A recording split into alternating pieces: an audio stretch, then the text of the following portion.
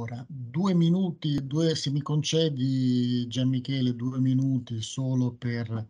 la, per presentarti rapidamente ai pochi che non ti devono, insomma, che non ti conoscono. E ricordo che eh, Gianmichele ha iniziato la sua preparazione, la sua formazione alla Sapienza di Roma,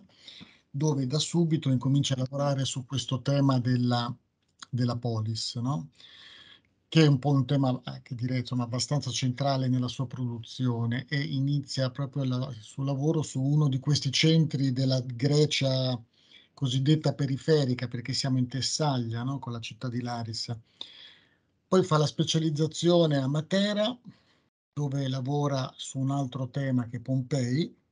su cui insomma sono tutti temi su cui poi sta lavorando ancora adesso, e poi nel suo dottorato di Messina arriva in Epiro, quindi diciamo che il motivo poi, è, ora è mh, cultore della materia all'Università di Catania, il motivo per cui io uh, l'ho contattato è innanzitutto perché sta, eh, ha pubblicato questo volume molto importante e, e molto e generale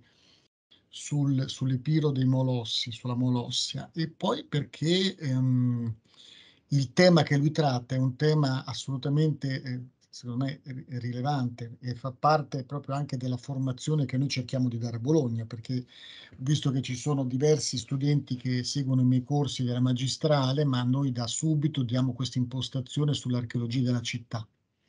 Quindi noi nel campus di Ravenna facciamo città greca, città romana, insomma città antica, dunque l'archeologia della città è centrale e sia l'archeologia della città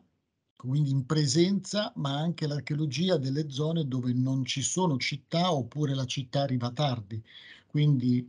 la chiave, la città, la polis è una chiave di lettura di interi territori. E dunque questo, questo, questo lavoro che ci presenta Gian Michele è del, assolutamente interessante e concludo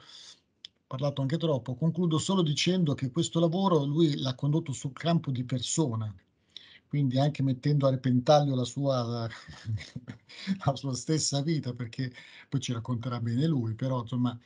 i, questi siti che, di cui ci parla, questi paesaggi straordinari sono frutto di una, come dire, di un'archeologia militante. Mi piace ricordare questa cosa, è un'archeologia che va sul campo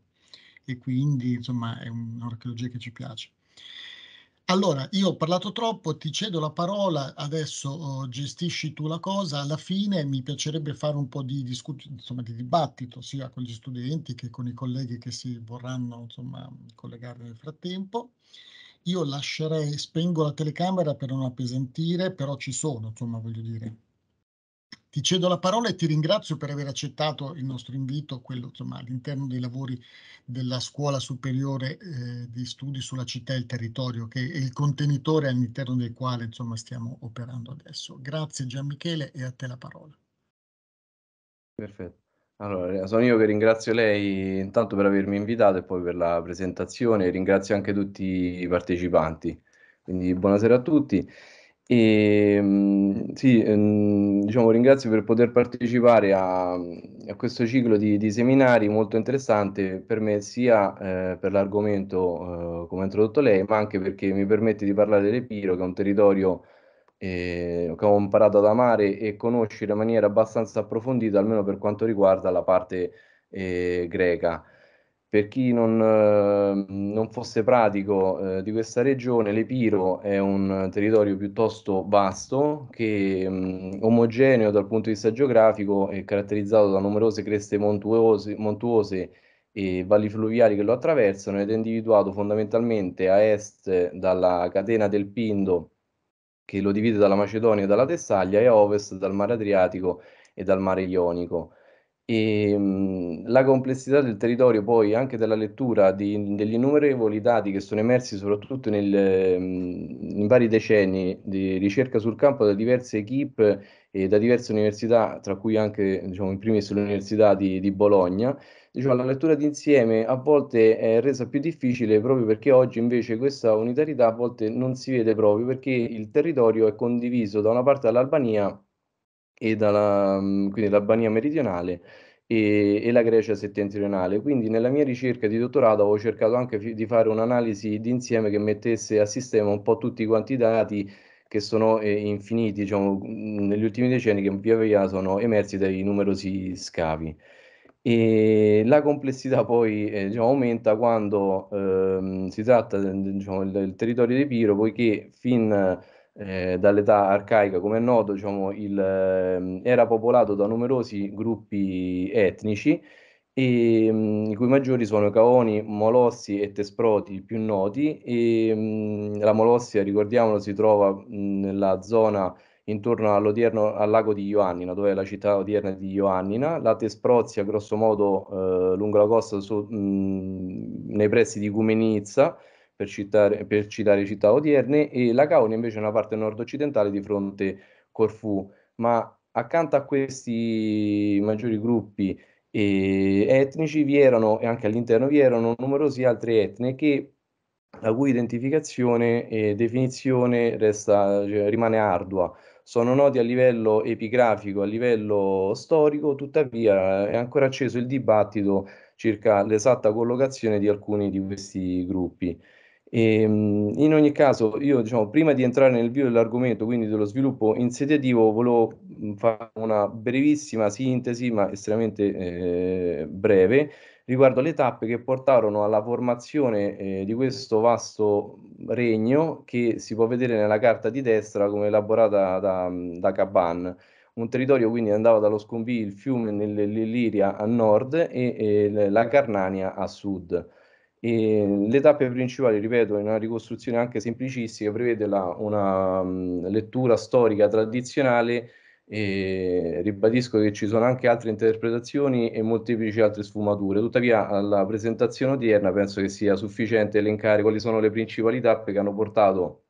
mano a mano all'Epiro eh, a diventare una forza mediterranea in, in età ellenistica. E, diciamo, la, la, lettura quindi tradizionale vede la, eh, una progressiva espansione della Ponossia a discapito degli altri etni, che più che parlare però di eh, un'espansione diciamo, in termini di conquista, si può parlare di una mh, mm, maggiore eh, un incremento della propria sfera di, di, di, influenza. E fino ad arrivare poi grosso modo verso la seconda metà del IV secolo con la nascita della cosiddetta Simmachia o anche nota epigraficamente come i Molossi e i loro alleati con la formazione quindi diciamo l'ascesa al potere prima Alessandro il Molosso poi con Pirro e suo figlio Alessandro in cui si ha la maggiore estensione di questo regno e, e fino alla caduta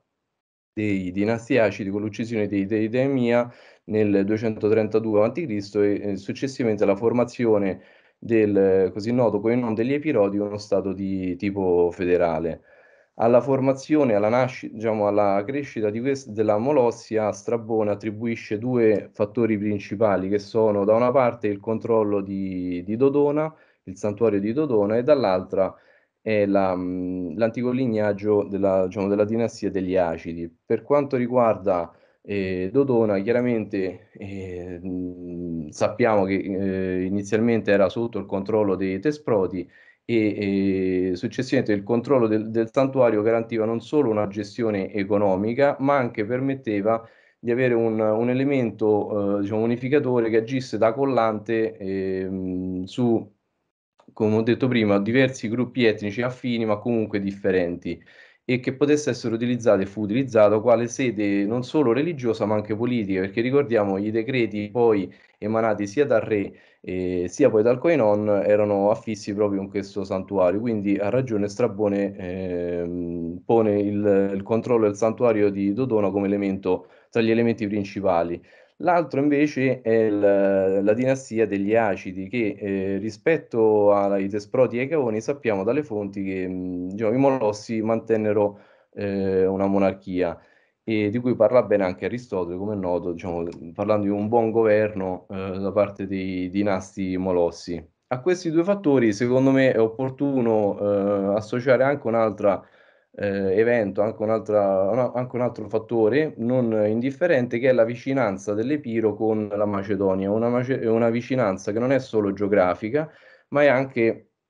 politica e anche soprattutto delle due dinastie degli Argeadi e degli Eacidi. Soprattutto verso la metà del IV secolo a.C., quando eh, nella politica epirota interviene Filippo eh, II, che eh, unì poi le due dinastie fondamentalmente sposando Olimpiade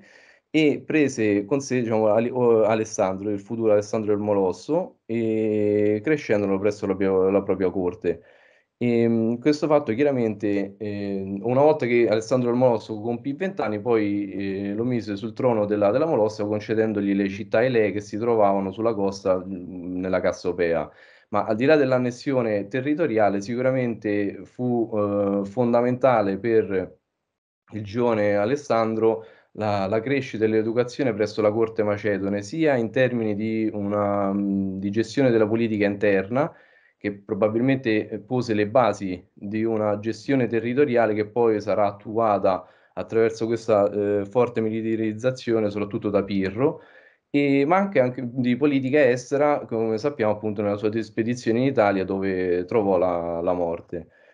E, mh, questo, diciamo, la, l'influenza poi macedone, il rapporto tra la Macedonia e l'Epiro perdurò fino alla fine fondamentalmente, e sia negli anni successivi alla morte di Alessandro Almolosso, che sono un po' più scuri, sia poi con l'ascesa al potere di, di Pirro e le continue diciamo, guerre tra Epiro e Macedonia, poi lo stesso Pirro che divenne re di Macedonia per ben due volte, fino praticamente al 167 quando eh, i Molossi erano alleati dei, dei Macedoni contro i Romani. E questo è quindi per fare un, un, quadro molto sintetico delle tappe diciamo, che portarono alla eh, formazione, alla espansione di questo diciamo, regno. E, e, ora lo vediamo diciamo, dal punto di vista insediativo, cerchiamo di, di vedere eh, quali sono diciamo, i modelli o la, i sistemi insediativi che eh, si possono, eh, si, si, evidenziano in questo eh, periodo, che è inquadrabile quindi grosso modo tra il quarto, fondamentalmente tra il quarto e il terzo secolo a.C., tutto il terzo secolo a.C. Allora, partendo sempre dalle fonti più note, eh, si riporta di solito eh, Pseudoscilace che riporta un tipo di occupazione territoriale catacomas, ossia sparso in, in villaggi, e di fatti archeologicamente appare abbastanza evidente una dicotomia, una differenza tra la zona costiera eh, in cui vi sono le colonie come per esempio Ambracia o Apollonia che sin dall'età arcaica eh, si sviluppano eh, in impianti diciamo, urbani, mentre per quanto riguarda l'interno dell'Epiro eh, si conoscono diversi abitati, come per esempio Vizza Zagorio, che eh, presentano del, degli abitati anche con un'articolazione complessa, ma che fino a qualche tempo fa erano eh, stati interpretati come villaggi stagionali, quindi legati a un'attività eh,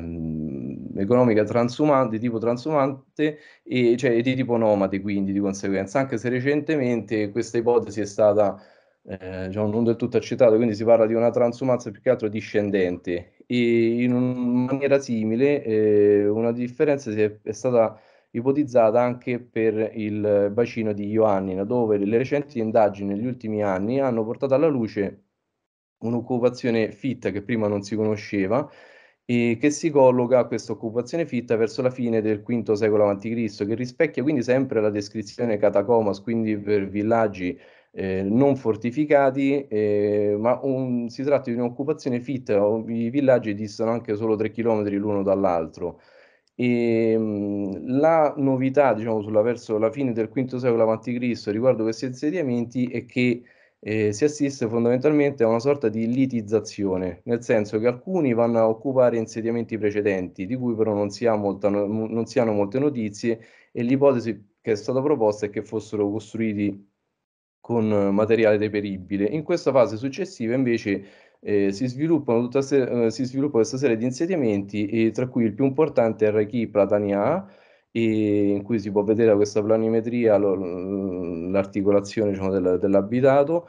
e che continuerà a essere in vita diciamo, dalla fine del V secolo a.C. con l'apice nella prima metà del IV fino al secondo secolo a.C. quando fu abbandonato. E tale eh, diciamo, trasformazione verso la fine del V secolo a.C. è stata pure eh, associata all'intervento di, connesso all'intervento di Tarips, che è il re cresciuto, ad, educato e cresciuto ad Atene, che secondo Giustino, una volta tornato in Molossia, avrebbe riorganizzato lo, lo Stato e avrebbe riformato le istituzioni. E, però, tuttavia, ehm, seguendo il nostro percorso diciamo, sullo sviluppo insediativo, a mio avviso un momento cruciale di, di, di, cambiamento si può cogliere nella seconda metà, intorno alla metà del IV secolo a.C. Qui ho voluto differenziare due, eh, due, zone, una che è il cerchio grande che eh, rappresenta grossomodo la Molossia con gli insediamenti all'interno di megalocardichi e castrizza fondamentalmente, e dall'altra invece i cerchi singoli che inquadrano diversi centri che a partire, diciamo, grosso modo dalla metà del IV secolo a.C. Eh, si formeranno e soprattutto però nei secoli successivi avranno una, conosceranno una strutturazione, una pianificazione nei propri impianti che diciamo, si possono definire eh, urbani, cioè mh, conosceranno uno sviluppo in cui si riconosce in modo chiaro ed evidente, lo vedremo, una distinzione per esempio tra gli spazi pubblici e gli spazi privati, oltre che a una monumentalizzazione degli spazi pubblici notevoli cosa che invece, per esempio, in, eh, in Molossia si, si può eh, evidenziare solo nel santuario di Dodona. Quindi io presenterei velocemente le, le, le, piante di questi, parlerei velocemente di questi siti che sono piuttosto ben noti bibliograficamente, che però secondo me servono al nostro discorso. Dove ho riportato, eh, ho scelto questa immagine tra l'altro per riferire Ricordate il discorso precedente, l'influenza della Macedonia, difatti la Cassope viene fondata, eh, secondo gli scavatori greci, verso la prima metà del IV secolo a.C., ma conosce una sua vera e propria strutturazione de dell'impianto verso la fine del secolo e soprattutto tra il terzo e il secondo secolo a.C. Interessante però è la, la presenza di una tomba eh, dell'eroe fondatore nella, racchiusa entro nelle mura alla, nella parte meridionale della città, che è una tomba di tipo macedone. E ricordiamo che l'intervento di Filippo II nell'area si, si data intorno al 342 a.C., quindi eh, la presenza di questa tomba è un chiaro riferimento all'influenza della Macedonia che non, dove, non, deve essere da sottovalutare.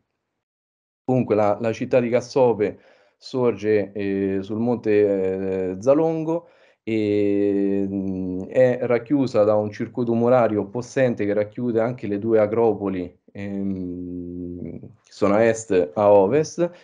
e mentre la città vera e propria si sviluppa nella parte centrale e pianeggiante della, della città, come si può ben vedere anche nel, nella pianta. E, ehm, Dunque, la, la, caratteristica poi principale di questi insediamenti, sia di Cassove, ma vedremo anche di Gitana e Elea o Finiché e via dicendo, è la, anche la strategi- il,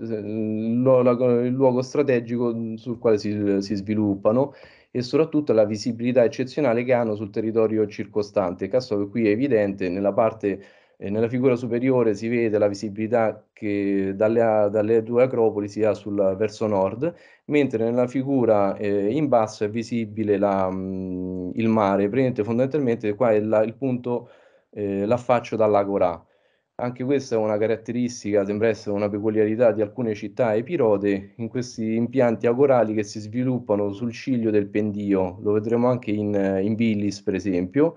e la corazza si trova in una parte evidenziata in basso, quindi proprio sul, sul pendio, offrendo un'ottima visibilità su tutta quanta la, eh, la costa.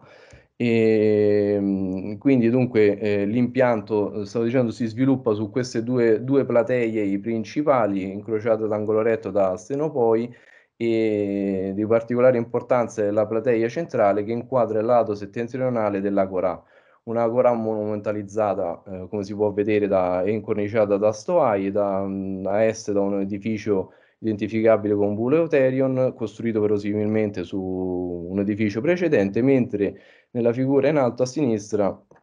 si vede un complesso interpretato come catacoglion, oppure quindi un alloggio diciamo, per eh, personaggi illustri, oppure un complesso commerciale. Diciamo che la, l'architettura complessa con un cortile centrale e pilastri ottagonali circondati poi da questo cortile da una serie di vani, probabilmente con, anche con un piano superiore e la sua collocazione nei pressi della, dell'Agorà basta diciamo, a, a, sottolinearne l'importanza e la, la, la, sua monumentalità.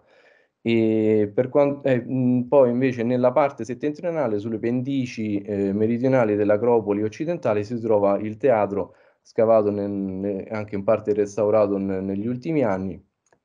che è anche un'altra delle caratteristiche diciamo, delle, delle città epirote, come, come è noto. Passando poi all'altra, eh, eh, diciamo, mi sono dimenticato di dire che Cassope, come Chitana, tutti questi centri che quindi si iniziano a sviluppare più o meno verso la metà del IV secolo, grosso modo, e in realtà poi piano piano nelle fasi successive, oltre a conoscere questo sviluppo in senso proprio prettamente urbano, diverranno anche una sorta di quelle che vengono definite capitali diciamo, del, del, territorio di pertinenza, quindi Cassope dei Cassopei, Gitana, prima Lea, poi Gitana dei Tesproti, Finiché dei, dei Caoni e così via, Bilis dei Bigliones.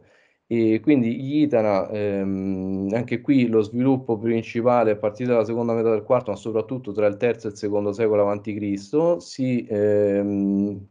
è circondato da un ampio circuito murario anche in questo caso che circonda anche il monte, la, la collina superiore in alto a destra, il Virisella, e anche in questo caso c'è una funzione per avere la visibilità sul territorio circostante, soprattutto dalla torre che vedete in alto a destra, semicircolare.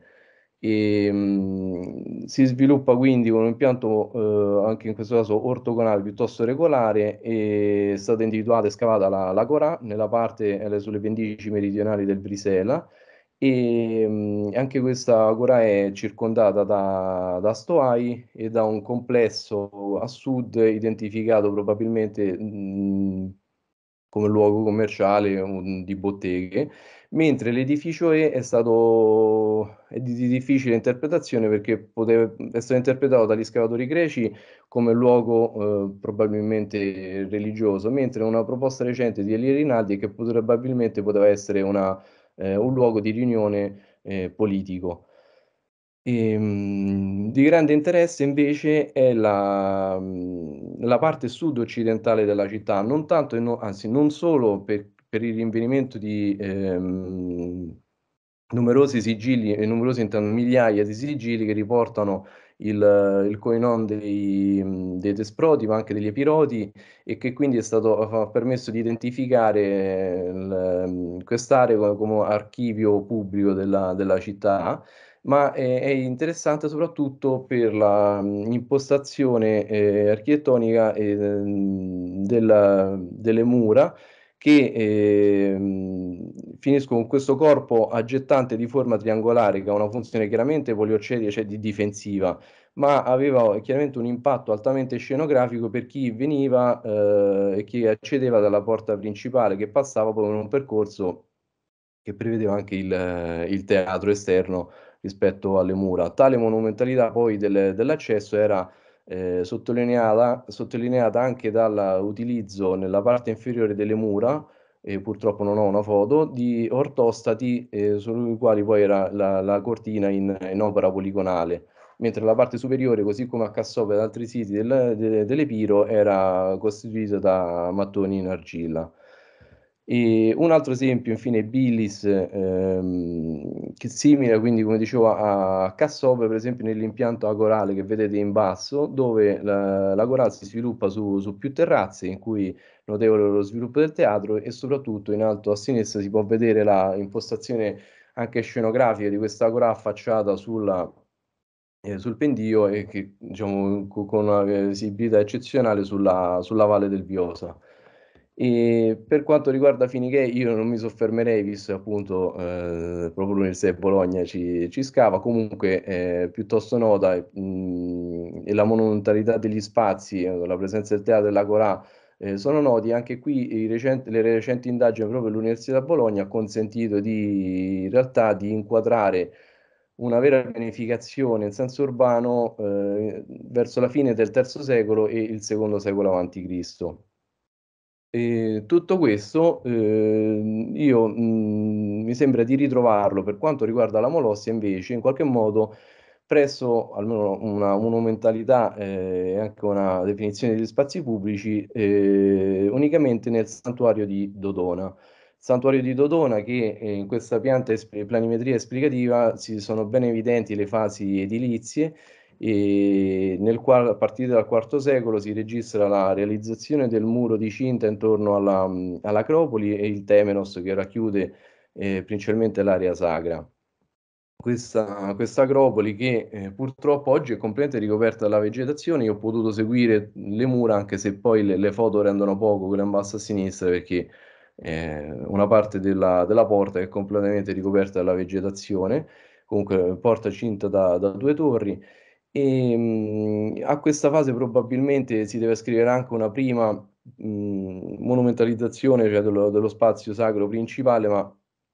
diciamo la, la, ricostruzione qui è controversa. Ciò che invece eh, mi preme sottolineare è che eh, si ha anche una differenziazione ora tra la fine del quarto e soprattutto il corso del terzo tra un'area quindi sacra che è quella a est ehm, e un'area invece dove vengono realizzati tutta una serie di edifici ad uso eh, politico e pubblico che sono quella occidentale e nel, nel verde, quindi nella prima metà del III secolo a.C., si assiste alla costruzione del teatro, del Puleuterion, del Pritaneo, eh, almeno in una delle sue fasi, e poi in questa pianificazione che prevedeva anche la realizzazione dello stadio, che in maniera eh, spettacolare viene realizzato, i gradini vengono realizzati sulla nalema occidentale del, del teatro. Ora, osservando quindi eh, questa carrellata di immagini, eh, possiamo passare a, scusate, avevo messo Anticonea per ultima perché eh, si pone in maniera differente rispetto agli altri centri, poiché eh, innanzitutto è successiva, la fondazione si pone tra il 297 e il 295 a.C. e poi mentre eh, gli altri insediamenti o erano sorti su eh, precedenti insediamenti e attraverso sinecismi, insomma, di, di, di differenti modi di... Eh, ogni sito diciamo, ha le sue peculiarità. Anticonea nasce proprio come fondazione regale, ossia è una fondazione di, di Pirro che diede il nome alla città ehm, in onore di, sua moglie eh, Antigone. E, in un punto cruciale eh, della viabilità antica, ossia lungo la valle del Drino. Tanto è vero che le ricerche condotte all'Università di Macerato hanno permesso di eh, diciamo, evidenziare come Anticonea nel, nel III secolo a.C. Eh, accentrò su di sé il controllo di questa parte di territorio, cambiando eh, la gestione di, eh, della Valle del Drino che precedentemente funzionava in modo diverso.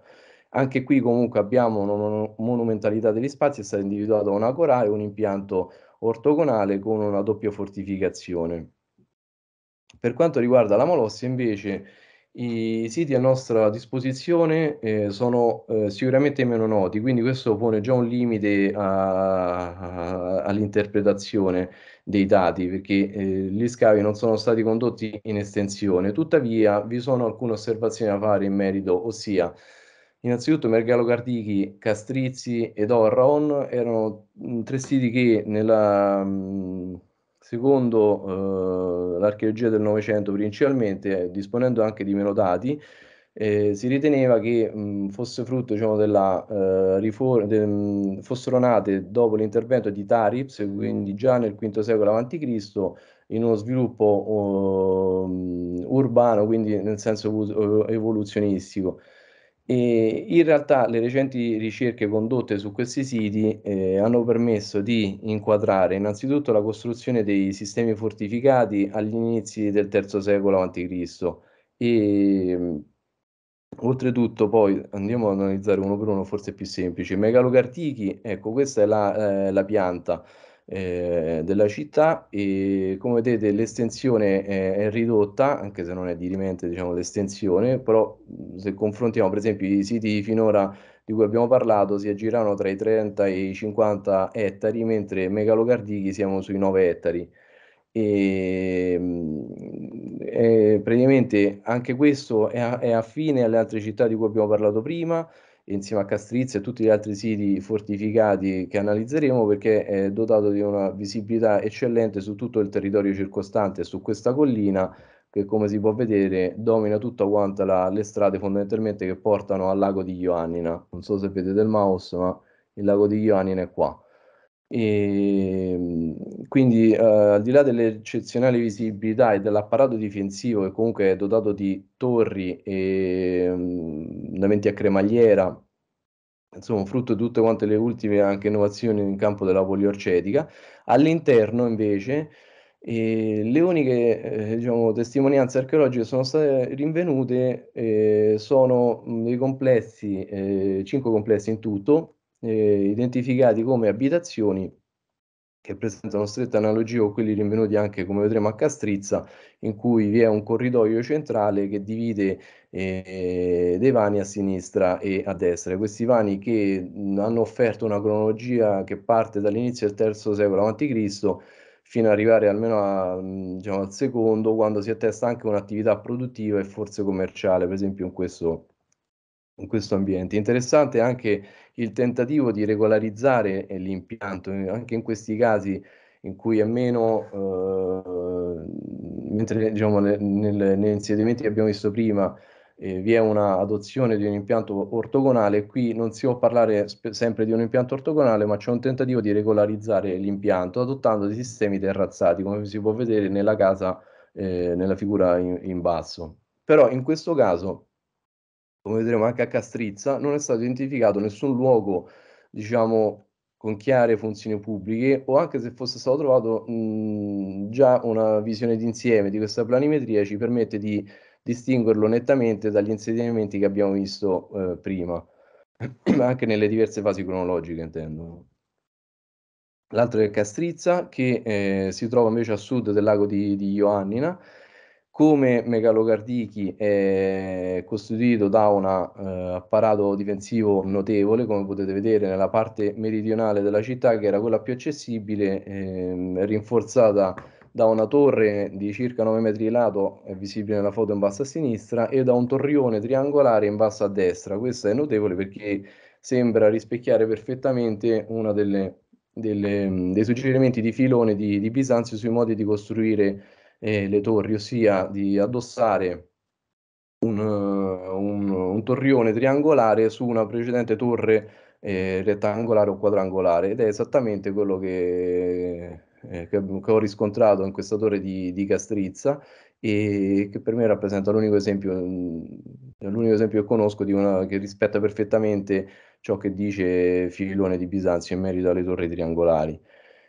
E, mh, mm, al di là comunque quindi della, del sistema difensivo, eh, anche in questo caso la eccellente visibilità che si ha su tutto il territorio, in alto si vede il, il, benissimo il lago di Ioannina, anche in questo caso, dicevo, sono stati individuati una serie di abitati all'interno, dove per esempio questo eh, che sto, um, vi sto mostrando ora è stato anche interpretato come probabile luogo ehm, diciamo, pubblico, tra virgolette, per la, il ricco apparato musivo e le decorazioni architettoniche. E, comunque si può vedere che planimetricamente è simile a quelli precedenti di Megalocardichi e a quelli scavati anche un po' più, eh, un po' più a est, quindi con questo corridoio centrale, i vani a sinistra e a destra, e i muri realizzati anche in questo caso in opera poligonale, accurata eh, all'esterno, mentre più grezzi all'interno. E, ma anche in questo caso, al di là della, diciamo, della ricca decorazione musiva che è stata rinvenuta in, questo, in questa abitazione, con difficoltà si riconosce un luogo, eh, una distinzione quantomeno tra gli spazi privati e pubblici, e una dimensione che più pienamente urbana che almeno per me si può riconoscere negli, negli altri insediamenti eh, di cui ho parlato prima. E come ultimo esempio ho riportato Orraon, ben più noto, e si trova nella parte meridionale, ed è circondato anche in questo caso da un, uh, uh, da un circuito murario di cui uh, ecco, ho scelto una foto abbastanza suggestiva che permette anche di cogliere quanto diciamo, è perfetta la commissione tra opera muraria e roccia. In questo caso è perfetta perché anche, anche perché il resto delle fortificazioni di, di Orano sono in stato di crollo totale, mentre nella parte meridionale, forse perché non ci arriva nessuno, è abbastanza ben conservata. La, l'eccezionale visibilità è riscontrabile anche in questo caso. Orraon si affaccia quindi verso il golfo di, di Ambracia. Nella, nella, foto in basso si vede sullo sfondo, sul fondo c'è il, il, mare fondamentalmente ed è collocata su un importante asse viario che collegava Ambracia eh, in, a sud e il eh, bacino di Ioannina a nord. La panoramica che si trova in alto è la, la foto in alto è una panoramica verso nord, quindi. E ad sono ben note le case, eh, conservate in modo eccezionale, in gran parte restaurate, e sono tre. E eh, per quanto riguarda la, invece la, la, parte pubblica, è stato ipotizzato eh, recentemente che mh, un'agora potesse trovarsi nella parte centrale, in quest'area libera, individuata poi dai due assi principali della città, mentre secondo gli scavatori greci L'area pubblica sarebbe da identificare nella parte settentrionale dove si trovano nel numero 5 e numero 4 rispettivamente una cisterna monumentale e un edificio variamente interpretato come luogo di riunioni eh, che si affaccia su quest'area aperta. Al di là, diciamo, dell'identificazione o meno di spazi pubblici o per luoghi per riunioni, che non è questo discorso, e a me preme anche in questo caso sottolineare la differenza che qui è forse pure più evidente, eh, del, proprio dell'impianto eh, rispetto agli altri. E qui ho messo una, una sintesi. A questi, eh, diciamo che a, a, mio avviso Orraon è assimilabile eh, come strutturazione proprio dell'impianto a megalogardichi e a castrizza, in cui prevale fondamentalmente l'aspetto poi difensivo dell'insediamento e a questi più nodi, quindi di megalogardichi eh, Castrizza, ricordiamolo, fino a mm, cioè, un dibattito in corso se siano o meno da identificare rispettivamente con Passaron e con uh, Tecmon, così almeno uh, vuole la, tra- la, lettura tradizionale, mentre recentemente è stata proposta anche l'identificazione con Passaron, che era la chiamiamola capitale dei Molossi, presso il caso di Ioannina. Accanto a questi insediamenti, poi in anni recenti sono stati anche mh, associati eh, a questi insediamenti caloieri altri, Caloierizza, Paliori, Paleocripiani e Agiosminas, che sicuramente sono insediamenti eh, piuttosto estesi e che purtroppo non sono stati scavati, eh, ma secondo me offriranno sicuramente moltissime informazioni. E, mh, vediamo praticamente che e hanno te- innanzitutto per dimensioni sono simili e in più il, in base alle ricognizioni che ho effettuato ho potuto constatare anche che si tratta effettivamente eh, diciamo, il materiale che ho rinvenuto all'interno è notevole, paragonabile a questi due incidenti principali rispetto eh, diciamo, ai numerosi altri siti fortificati proprio diciamo, per la particolarità comunque di questi insediamenti che eh, di subito, dico subito ho preferito definirli come insediamenti pseudo-urbani, poiché eh, non hanno, ehm, ripeto, quella, eh, quelle caratteristiche hanno cons- diciamo, che portano a, a definire mh, un insediamento diciamo, pienamente urbano con una definizione ben esatta tra gli spazi pubblici e gli spazi privati, l'identificazione dello spazio civico, anche e soprattutto il luogo religioso, le sedi religiose e anche, per esempio, non è equiparabile dal, piano, dal punto di vista delle iscrizioni. Eh, ricordiamo quello che è stato rinvenuto, per esempio, a Chitano, ma anche la stessa Elea. Eh, tutto ciò manca in questi siti molossi. Resta sempre il dubbio che magari eh, proseguendo con gli scavi qualcosa possa venire in luce, ma ehm, io per ora ho preferito rimanere, diciamo, adottare un termine neutrale che è appunto quello di insediamento fortificato. Proprio per questo motivo ho scelto di eh, indagare in maniera più approfondita il territorio della Molossia perché cer- per cercare di eh, inquadrare questi insediamenti all'interno del contesto. Cioè, se il dato archeologico in sé per sé all'interno dei siti non poteva offrirmi molto, allora ho cercato di analizzare il sito all'interno del contesto. Per fare questo, quindi, come ha detto il professor Levore, eh, in solitario sono andato a ricognire eh, gran parte del territorio molosso e questo il fatto di essere in solitario sicuramente ha posto dei limiti eh, considerevoli alla, alla ricerca i limiti che sono anche dovuti eh, alla necessità, mm, mi sono concentrato sui siti fortificati eh, non per avere solo questa chiave ermeneutica, ma perché rappresentano innanzitutto un elemento abbastanza omogeneo eh, dell'architettura epirota che si riscontra su tutto quanto il territorio e vedremo poi diciamo, una parte conclusiva del perché. E poi soprattutto, e questo è forse il limite, è che ehm, operando in solitario in queste ricognizioni sicuramente le fortificazioni possono rappresentare il, il dato archeologico più facile da, da, trovare, cioè piuttosto che un insediamento rurale, un villaggio o mh, ancora più sepolti dalla vegetazione, le fortificazioni forse sono quelle che di solito eh, rimangono, eh, sono più facilmente eh, individuabili e non è sempre così, insomma. In rosso ho segnato i, i, i siti fortificati che sono riuscito a individuare e tramite queste ricognizioni e questa immagine l'avevo scelta per eh, mostrare un po' il paesaggio eh, che si trova in Molossi, ma in tutto quanto l'Epiro, diciamo, caratterizzato da questi siti posti in altura. Non, ripeto, non facile raggiungere in basso a sinistra Callarites, per esempio, ho impiegato un'ora e mezza a raggiungerla anche con avevo una guida locale che non riusciva nemmeno lui a trovare il sito. E mh, tramite diciamo, questa ricognizione quindi ho potuto poi operare, effettuare una catalogazione di, di numerosi siti fortificati, fermo restando chiaramente come sappiamo che ogni metodo, ogni tentativo di classificazione sicuramente è molto rischioso perché rischia di irrigidire la, la realtà. Tuttavia è necessario anche per poter dare una uh, linea interpretativa, pertanto ho scelto uh, di adottare dei termini il più ampio e il più elastici possibili, possibili ehm, prendendo spunto dai recenti lavori di Facar e quindi ho individuato delle voci, insediamenti fortificati fondamentalmente quando è stato possibile o a livello bibliografico oppure proprio ricerca, con la ricerca sul campo individuare dei dati che mi facessero pensare alla presenza di, un abitato all'interno della, della cinta muraria. Fortezze agropoli fortificate è quando praticamente si tratta invece di eh, fortificazioni poste eh, solitamente in punti ancora più strategici, eh, un apparato difensivo eh, notevole e ehm, l'assenza di un abitato all'interno, o almeno di tracce di un abitato all'interno, anche di ceramica all'interno.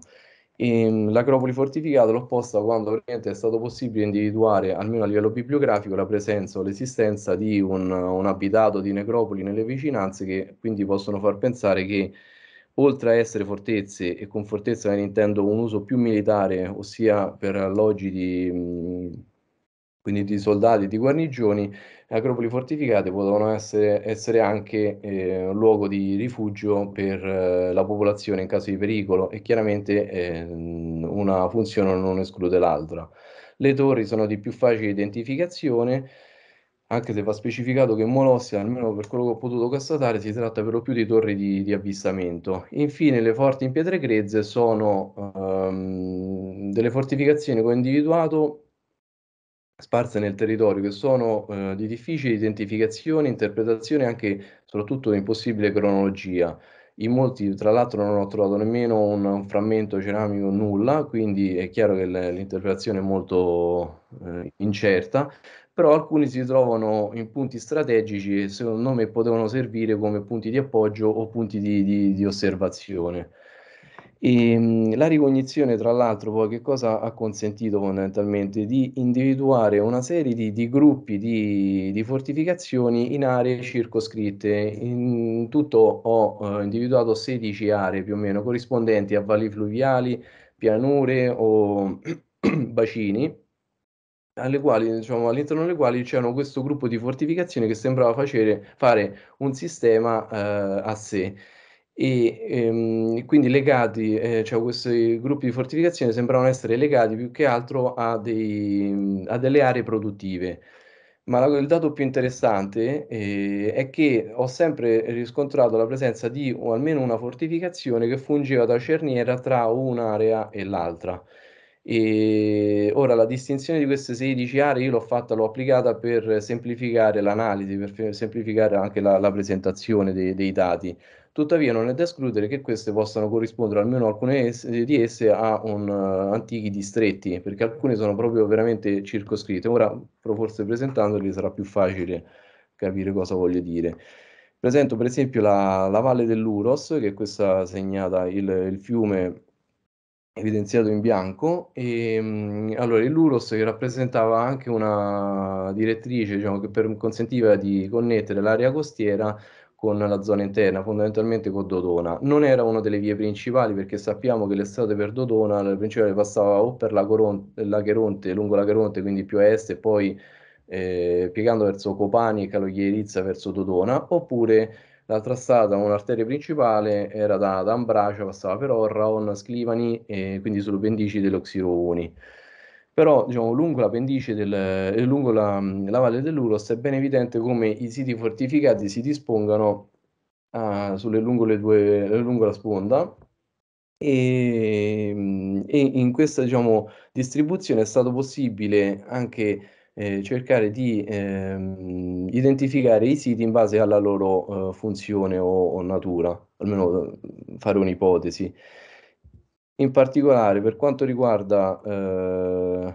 ecco, Caloghierizza eh, si può identificare a mio avviso come il centro, un insediamento fortificato innanzitutto ed è il centro di, di riferimento, questo sia per le dimensioni notevoli e maggiori, ma eh, sottolineo che non è eh, dirimente la, la dimensione del, dell'inserimento del circuito murario. Tuttavia vi è la, la presenza anche di un'acropoli, vi è un'abbondante presenza di ceramica che ho riscontrato all'interno anche di ceramica fine e la presenza di eh, un impianto termale nella parte orientale che è stato scavato eh, solo in parte, ma che è riferibile all'età romana e anche questo ci offre per esempio una, ci indizia la, la continuità di frequentazione dell'insediamento eh, in una fase successiva, diciamo quella presa in esame.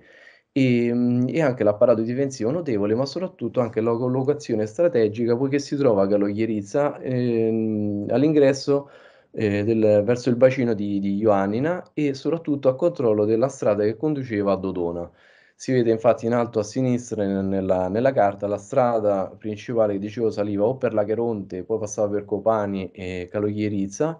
e sia quella che risaliva per il Luros. Comunque nella foto in basso a sinistra si vede chiaramente che dalla, dall'acropoli di, di Caloghierizza la strada per Dodona era eh, pienamente visibile, così come era visibile chiaramente la, la valle dell'Uros. E, sì, mi sono dimenticato di dire che in questi gruppi di fortificazione che qui vediamo nell'alta valle dell'Uros avevano eh, un'intervisibilità eh, eccezionale tra di loro. E oltre che allo Chieriz, poi si mh, Copani, subito dopo, è interpretato come acropoli fortificata per la presenza di un insediamento scavato dagli archeologi greci più a nord, nel sito di Ellinica e anche questo probabilmente una fortezza, agropoli fortificate in relazione a, alla viabilità, soprattutto in connessione probabilmente col santuario di Dodona. E, mh, ho tentato anche, diciamo, ho fatto delle ricostruzioni, come potete vedere, della, del circuito utilizzando i punti GPS. In tutti i siti ho cercato di ripercorrere il, il circuito murario prendendo i punti GPS e poi integrandoli con i dati di Google, Earth e mh, da Copani si differenzia invece Miro Dafni e poi Cato Musiotizza, dove secondo me sono, si tratta principalmente di fortezze per la loro eh, formazione, per l'assenza innanzitutto all'interno di, di, strutture interpretabili come abitazioni anche della ceramica, per quanto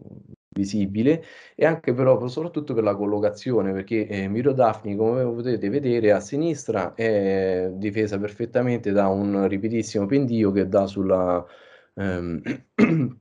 sulla valle dell'Uro mentre a est è difesa da una cinta muraria andamento a cremagliera che termina nella parte settentrionale con un torrione di circa 9 metri di lato a pianta quadrangolare che mh, si affaccia tutto, che controlla visivamente tutta quanta la pianura eh, situata a est che potete vedere, potete vedere nella foto in basso e fino ad arrivare a Sclivani che è invece il sito che, lungo il quale passava l'arteria principale che dicevo che da Orraon eh, arrivava da Ambracio a Orraon arrivava a Ioannina e simile quindi in questo controllo della viabilità si pone eh, Cato Mosiotizza che in basso nella, mh, mm, sempre eh, diciamo, dove il, il, fiume Luros fa questa ansa a, a gomito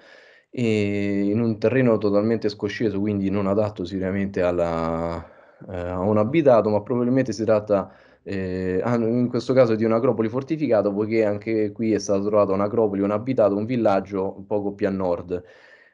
Cadomosio Tizio però come fortezza doveva lavorare eh, sinergicamente con la torre di eh, Caniterovo che si trova nella collina, sulla collina, sulla cima della collina, posta di fronte, si vede nella foto in basso a sinistra, c'è cioè questa collina a forma di cono proprio e sulla cima sono riuscito a trovare ehm, le tracce di un muro probabilmente pertinente a una torre, oltre sullo sfondo, forse nella foto in alto a destra si dovrebbe vedere anche un bunker, ho trovato due bunker.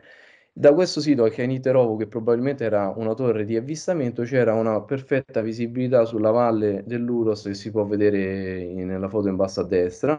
E anche in questa carta di visibilità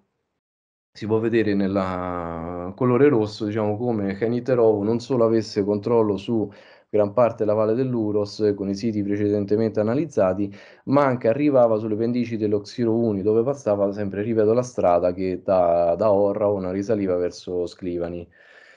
Questa diciamo, funzione di, di, cerniera però di alcuni siti eh, l'ho potuto riscontrare a, anche in altre parti e soprattutto qui è ben evidente, siamo nella parte nord-occidentale della, della Molossia e ehm, qui a destra chiaramente la carta di visibilità e il, il sito che secondo me fungeva proprio da cerniera è Despoticò, una fortezza, mh, mm, qui in rosso segna ehm, la visibilità di Desco, Despoticò in rosso e si può vedere come questa controllasse o permettesse comunque di, di, di vedere eh, sia eh, diciamo, tutti quanti i siti che controllavano la strada che lungo lo Smolizza conducevano al santuario di Dodona, sia quelli che erano eh, lungo la, la, valle del Calamasse, quindi verso la Desprozia, sia verso est, verso sud-est, verso Megalocardichi e il bacino di Ioannina. Ma soprattutto Despoticò era anche in connessione con la valle del Giftopotamos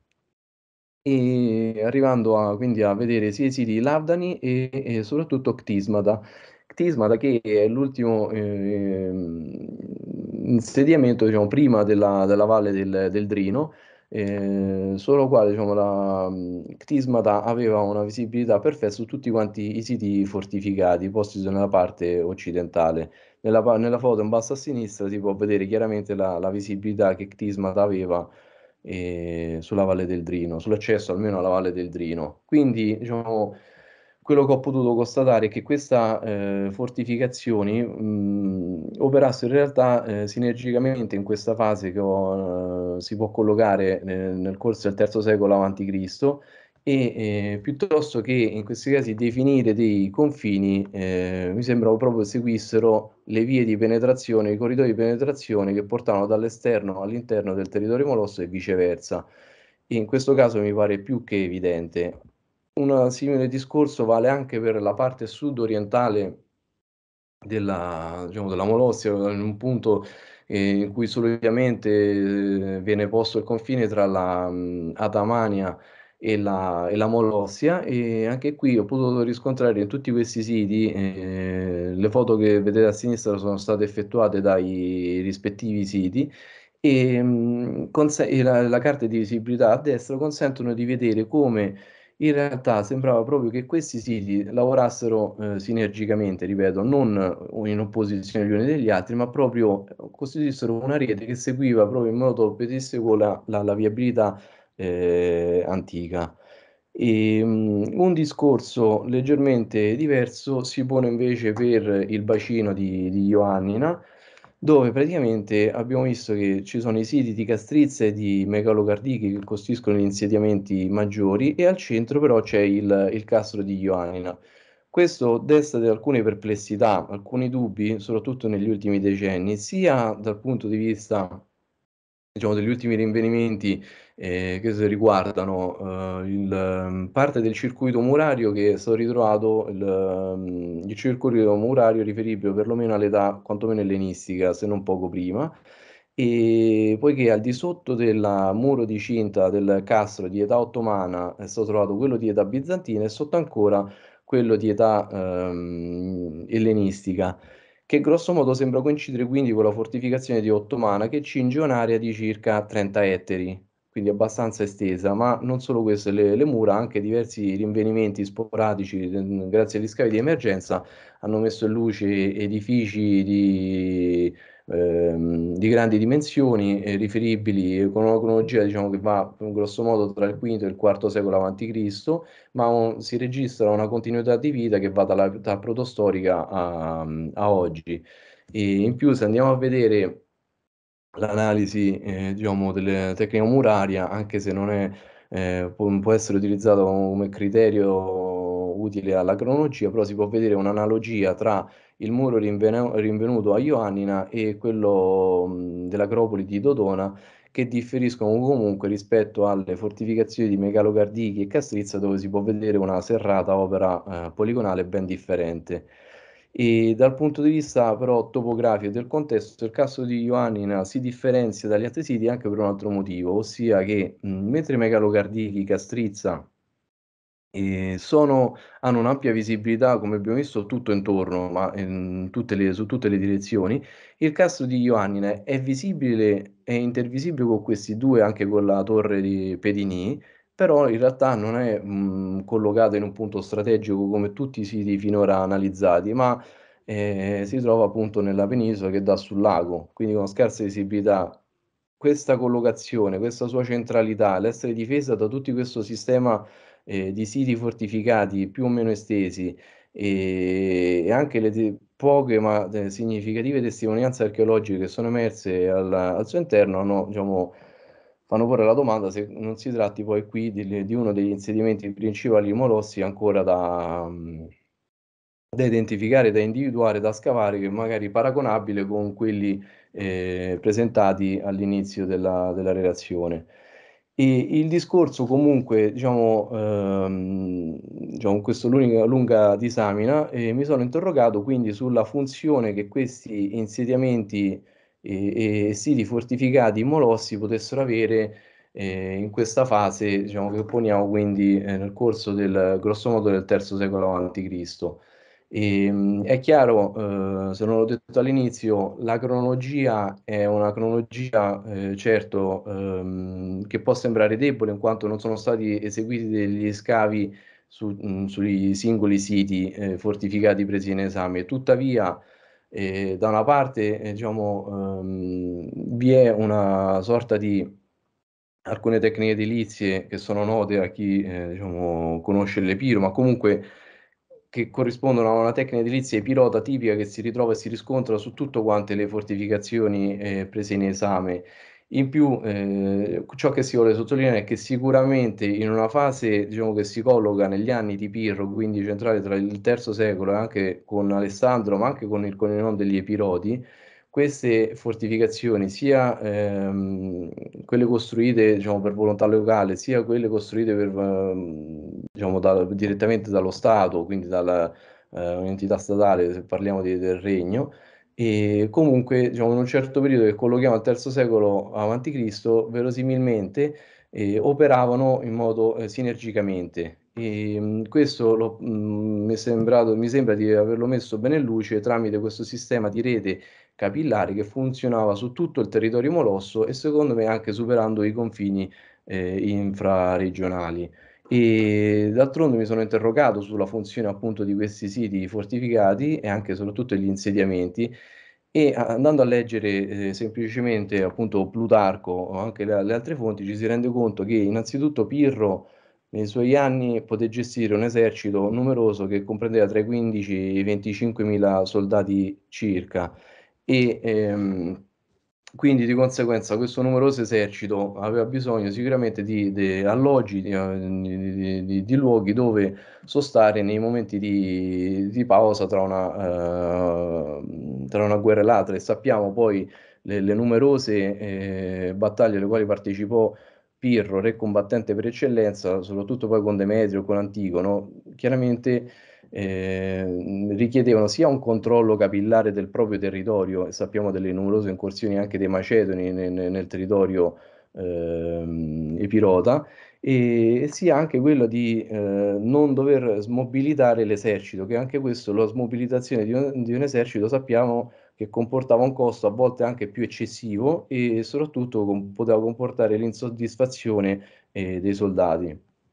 Quindi diciamo, la presenza di questi insediamenti fortificati, eh, soprattutto in Molossia, come per esempio Megalo Cardichi e Castrizza, mi ha fatto porre la domanda se in realtà non si tratti eh, di alcuni insediamenti e se la cronologia appunto si conferma soprattutto per questi all'inizio del III secolo, se non possa trattarsi di insediamenti militari nati appositamente inizialmente per la, eh, offrire alloggio ai soldati e alle loro famiglie e che poi magari nella, in una fase successiva eh, dopo anche la caduta diciamo, della dinastia Iacide, si fossero sviluppati in, in maniera diversa. E... Dunque, io credo, credo che ho parlato a lungo in, e credo che possiamo procedere con la discussione, nel senso non ho fatto forse una conclusione vera e propria, però ho, cerca- ho cercato di essere più breve in modo da lasciare spazio anche alla discussione. Cioè, non so se... Sì, no, benissimo. Devo dire che intanto ti ringrazio molto per questa tua sintesi. Beh, la conclusione è una conclusione storica che, come dire, a me piace molto, nel senso che alla fine di tutto noi, se non tiriamo fuori delle considerazioni di carattere storico, veniamo meno alla nostra funzione, no? Giochiamo con la terra, andiamo in giro per i, per i siti straordinariamente, devo dire, belli che ci hai presentato, eh, però le conclusioni devono essere storiche, quindi insomma questa tua collegamento con Pirro è un, un'interpretazione che va seguita. Mm, allora, sentite, io ho, ho, mi sono segnato molte domande, però oh, intanto io ti ringrazio e io cederei la parola. Allora, vediamo chi vuole partecipare, facciamo una cosa ordinata, chi vuole intervenire è pregato di alzare la manina, visto che il sistema ce lo pre ce lo permette, oppure aprite il microfono e procediamo. Vedo che ci sono anche dire, diversi membri della missione a Funiche e Butrinto, quindi insomma direi che i temi che ci hai presentato sono del massimo interesse e molte cose io non le avevo, prima di questa tua presentazione, non le avevo capite bene, sinceramente. E, aggiungo solo, mentre aspettiamo le manine alzate, ehm, in effetti le ricognizioni solitarie sono anche un po' pericolose, se posso dire la mia. Oh, a, al di là del pericolo, la, il grosso limite è che non consentono di coprire il territorio in maniera, diciamo, totale, nel senso che alla fine chiaramente era, a me, diciamo, la, il, l'obiettivo mio era poi intanto individuare dove erano effettivamente collocati, cioè prendere anche un semplice punto GPS e capire dove è il sito già era fondamentale perché se uno legge in bibliografia si dice la collina est di, del paese, eh, ma la collina est del paese vuol dire tutto e niente, così come le formazioni degli abitanti del luogo che sì, comunque sono state fondamentali, a volte erano lì dietro, eh, ma lì mm. dietro per esempio... Ma senti, allora ci dai un numero complessivo, cioè alla fine tu quanti siti in totale hai mappato? Tanto ah, sì, per sì. numeri. Io sì, chiedo scusa, ma perché sintetizzare tutto quanto non è no. stata un'operazione semplice, mh, alcune cose sicuramente le ho tralasciate o le ho dimenticate. Ah, guarda, te le chiediamo noi, quindi in tutto e... tu hai mappato quanti siti, quindi? 60 siti che ho diciamo, potuto vedere io, poi altri purtroppo era pre... sì, 60, in grosso modo 60 siti. In bibliografia, perché tu hai ricontrollato anche siti che non so, magari erano già nelle fonti, da Caris li aveva visti. Insomma... Sì, sì, sì, io sono partito chiaramente da Hammond e da Dagaris che eh. hanno avuto la fortuna di vedere un mondo che noi non è più possibile e altri poi mancavano, ho integrato alcune ehm, elenchi che sono stati fatti poi più recentemente anche da, dalla DOS o da Pliago, qualcosa, ho integrato i vari lavori e soprattutto, però ripeto, mentre ho constatato che di solito, eh, senza screditare nessuno perché voglio dire, non è che tutti uno deve andare a visitare i posti, però solitamente viene riportato semplicemente lì c'è un sito e finiva lì, ho cercato di andare a vedere che cosa effe- dove era, questa è la cosa fondamentale, e poi soprattutto che cosa c'era. E... Il lavoro tuo è straordinariamente utile e interessante. E senti, eh, ci sono dei siti nuovi rispetto totalmente nuovi rispetto alla bibliografia oppure ehm, cioè, hai individuato dei siti totalmente inediti oppure sono... Allora, alcuni siti inediti, no, sì, alcuni ci sono, alcuni sono riportati solo che c'è un nome, ma in realtà poi c'è parecchia roba, cioè nel senso c'è solo un nome, una citazione e poi nient'altro. Alcuni sì, e, e soprattutto però ci sono alcuni siti che io, diciamo, dove vorrei tornare perché secondo me sono... Mh, dove sicuramente secondo me c'è qualcosa fondamentalmente. Cioè ci sono dei punti che, eh, in cui i dati non tornano almeno secondo la mia ricostruzione. Quindi mi piacerebbe tornare, per esempio, eh, nella zona lì della, della Sumerca. E, eh, non so se riprendere la, la presentazione. Comunque ci sono. Riprendo un attimo. Sì, sì, sì, così vediamo bene. Allora, non mi ricordo se l'ho messa. Si vede? Sì, Così? sì, stiamo vedendo. No, non è questa, è una...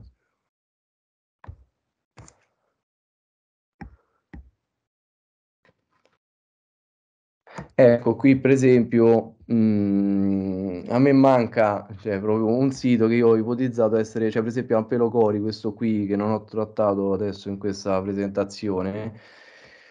che sembra essere, non dico isolato, ma ha una visibilità sicuramente con Pramanda che si trova invece di qui, però in realtà eh, io mi immagino, ma sono quasi sicuro, qui c'è una, una chiesetta su profeti, um, esattamente dove il mouse, una chiesetta dei profetisti Elias dove io non ho avuto modo di, di, di andare e dove però secondo me con buone probabilità ci potrebbe essere una, una torre o qualche cosa che permetteva di collegare visivamente quantomeno eh, questi siti fortificati di Culiarades che invece non è visibile da Pelocori e mh, anche Kozuka che è la torre invece che si trova dall'altra parte. Cioè, quindi ho fatto delle ipotesi su alcuni siti secondo me cruciali da, da indagare. E poi un altro per esempio che proprio placa, questo qui è riportata, c'è una nota eh, in cui dice placa come sito fortificato e proprio c'è, insomma, è abbastanza interessante il sito. Ho trovato una torre ben conservata. Mm. Beh, già il toponimo è parlante, no? Sì, no, no, e, infatti, e poi posta in un punto cruciale anche quella, ma ehm, sì, la cosa incredibile è che la maggior parte di questi siti poi sono, magari lo sanno pure, ma non, non hanno scritto, non, non si è scritto nulla cioè poi a livello di un concreto, cioè nemmeno la planimetria, per quello io ho fatto queste diciamo, ricostruzioni schematiche del circuito murario e per quello dico che, per quello dico che chiaramente un'equipe che lavora eh, agevola il lavoro, perché chiaramente se uno si può anche utilizzare nuove strumentazioni e, e via dicendo, la documentazione è più veloce, più affidabile. Certo, però direi che tu hai fatto un lavoro eccezionale, come dire, come, come base poi per le future ricerche. Insomma, quindi insomma, il, il, problema principale rimane sempre la cronologia, perché purtroppo noi abbiamo mh, pochissimi dati sicuri su cui ancorare la cronologia. Però io ritengo anche che a un certo punto anche l'assenza di materiali dobbiamo considerarla un dato perché anche questa cosa qui, perché se c'è, come dire, sono siti che poi non vengono più rioccupati, non c'è una fase ottomana, medievale ottomana. È questo, è questo che ho voluto sottolineare, cioè questa assenza l'ho voluto sottolineare, per quello ho fatto vedere prima le, le note città, chiamiamole città appunto di Cazzope, Chitana, Finichelle, Planimetrie, che solo comparando semplicemente le, le, le, planimetrie mi sembra già abbastanza evidente la, la, differenza che vi è tra i diversi insediamenti. Non tutti vengono poi occupati, non, tu, non tutti conoscono una frequentazione di vita. Eh, un esempio è il caso di Ioannina, appunto, che è l'unico secondo me che ha, offre questa continuità di vita fino, a, fino ad oggi. E per quello che rimane il dubbio che magari è proprio quello uno dei centri diciamo, principali, mentre gli altri è vero che rimane la cronologia, però per alcuni casi, diciamo, per esempio per eh, Castrizza o Megalocardichi, se la tecnica muraria non può essere utilizzata come criterio, diciamo, utile alla cronologia, però l'analisi di alcune tecniche della poliorcetica, sì, cioè nel senso già quelli ci collocano una cronologia che sicuramente rispondono a delle esigenze di un modo di, di, di condurre la, la, guerra che è diverso alle fasi precedenti. Cioè, questo è per me è importante sottolinearlo, oltre anche ad altre caratteristiche che ho riscontrato su ma anche voi credo, cioè no, anzi ne abbiamo parlato pure in passato, per esempio quei solchi verticali, sì, eh, sì. Eh, quelli rappresentano anche quelli una peculiarità della, proprio della, del modo di costruire de, degli epiroti e quindi secondo me eh, corrispondono anche una, a delle maestranze che lavorano in un determinato periodo cronologico. Eh, ma per rimanere su questi solchi, visto che vedo che ci sono anche dei, insomma, dei, dei colleghi che si sono occupati di Butrinto, oltre che eh, Michael Benfatti, quali sono le ipotesi? Insomma, perché sapevo che, non so se tu o sei d'accordo con Luigi Caliò, che ipotizzavano la presenza anche di bandiere o di segnali, però mi sembra un po' strano. Tu cosa ne pensi? No, io recentemente ora dovrebbe uscire un articolo su, su Cronache, ho a breve dovrebbe uscire, e, ehm, in cui ho ripreso leggendo il lavoro che ha fatto la Elena Santacati su, su Filone e quindi rivedendo un attimino Filone, abbiamo ipotizzato che eh, magari questi, è chiaro che rimane un'ipotesi, però eh, allora vogliamo parlare di questi solchi un attimo, riprendo un attimo la, la pianta di... Per chi non ce li ha chiari, vuol dire, questo è un tema su cui noi stiamo discutendo da, diciamo, da quando siamo arrivati a Butrinto, ecco perché il muro di Butrinto... Eh, infatti ora io vi pongo la mia ipotesi perché vediamo poi eh, quello che avete visto voi, che conoscete voi, se potrebbe funzionare. Allora, Cassove. Allora, la sequenza che ho riscontrato io per tutti quanti i siti, cioè proprio tutti, e sono tanti, eh, dove ho trovato questi solchi, si vede abbastanza, Cassope? Sì. Ok, allora innanzitutto una collocazione, dove sono questi solchi? Cioè dove, dove sono, dove, dove trovarli? Perché io ormai se individuo una fortificazione fortificata e eh, pirota, generalmente posso dire dove poter andare a trovare questi solchi. Ah, ecco. Ossia, eh, io l'ho trovati di solito, vediamo questo andamento a cremagliera, e i solchi l'ho sempre trovati uno a metà altezza e uno a ridosso o una coppia a ridosso dell'angolo. Poi di nuovo uno a metà altezza e uno o due a ridosso dell'angolo. Cioè questa sequenza fissa, questo l'ho trovato a Cassope, in questo punto qui mi sono fatto tutto questo pezzo. L'ho trovato a Miro Daphni, per esempio, su tutta quanta l'andamento a cremagliera, a Megalocardichi, a Castrizza, eh, a Copani, vabbè, su tanti siti, ora nemmeno ricordo. È una ricorrenza, diciamo, una cosa che torna. E quindi come la interpreti? Poi, una, un'altra constatazione è che sicuramente non erano pali affissi a terra. Mm. Perché almeno in molti casi che ho visto io, per esempio anche a ehm, Crisorraghi, lì eh, su una torre se- semicircolare, praticamente questi pali non eh, partono i solchi da, non a ter- da terra, ma partono dal secondo, dalla seconda assisa fondamentalmente. Ah, Quindi vuol dire che non potevano essere affissi a terra, perché inizialmente ora ho ipotizzato leggendo un articolo di Mastro Antonis che mh, corrispondessero anche lì a una mh, a un punto di, di, filone in cui diceva di piantare dei pali per velocizzare la costruzione delle torri circolari si utilizzavano dei pali piantati in, in circolo a terra e poi si facevano questi solchi per velocizzare la costruzione della il filo a piombo, però mi sembra strano, nel senso che tu puoi usare il filo a piombo, anche perché questi, questi solchi sono... Esattamente, perché poi Lorenz infatti dice che si parla di, di filo a piombo. Ora, in realtà, poi parlando pure con uh, Luigi Caliò, e siamo venuti, diciamo, e leggendo soprattutto Filone, abbiamo visto che ci sono alcune parti in cui Filone ehm, suggerisce di rinforzare le fortificazioni, soprattutto nei punti più esposti all'artiglieria nemica, di mm. rinforzarli con dei rivestimenti lignei. Ora fanno anche una differenza di, del tipo di legname da utilizzare, mi sembra che, mi sembra che Vitruvio poi riprende il discorso e dice di utilizzare l'ulivo e questo rivestimento ligneo aiuterebbe quindi in caso di, dei colpi dell'artiglieria a rinforzare le, le murature. A me è venuto poi un'altra ipotesi in mente, ossia sì, magari sono collocati nel punto di cremagliera, la cremagliera quindi chiaramente è il punto anche per esempio qui a, a Cassope eh, questo punto è uno dei più accessibili, infatti è protetto sia dal protechisma sia da quest'altro in modo da, da rafforzare, ma se il nemico, il nemico, entrava, chiaramente qui il, il punto è abbastanza pianeggiante. E, mh, quindi ho pensato, uh, il punto è più esposto, quindi probabilmente questo rivestimento ligno, ma soprattutto io pensavo magari potessero essere